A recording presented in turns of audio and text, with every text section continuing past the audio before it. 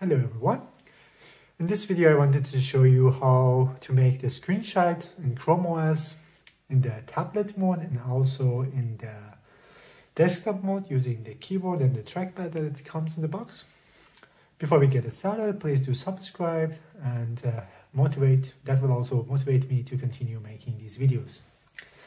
So let's start with the desktop mode using the keyboard and the trackpad. In order to make a screenshot, all you need to do is to press Control and the multitasking window here. Then you will make the automatically the screenshot. It works perfectly. I will open it now. Now you can see you have the screenshot here. Uh, today, the Chrome OS also got updated to the version 88. This is the stable version. Uh, developer version doesn't work properly in this Lenovo Chromebook Duet. I think the processor is too weak for that. And I'm also waiting for this function to edit the pictures directly in the app gallery. It, you can still activate it, I think, from the flags in the Chrome OS. But usually they are buggy, so I will wait till the official stable version of the Chrome OS is released. So now let me show another way that you can do a screenshot. You can make a screenshot of a specific part of the window. It's the same thing, control, you have to add the shift here and the window, the multitasking window. Now you can select which part of the screen you want to take a multi like a screenshot. There I have it.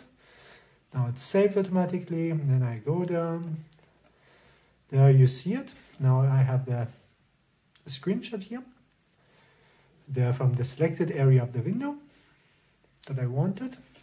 Now I will switch to the tablet mode. I will take out the keyboard. Now I am immediately in the tablet mode. That's a tough part here to do the multi to do the screenshot here. In order to do that, you have to press the power button and the volume down together. I did it. And now let's see. It doesn't feel natural I will not recommend to use that often. But now you see you have it. I hope that they will implement a similar thing that exists in the Android devices that when you go to the multitasking, then in the bottom we have the screenshot, you can click on that and you make a screenshot. I hope that Google will bring that also to Chrome OS. That will work much better than this way that they're doing here. And one thing to show also, if you switch back to the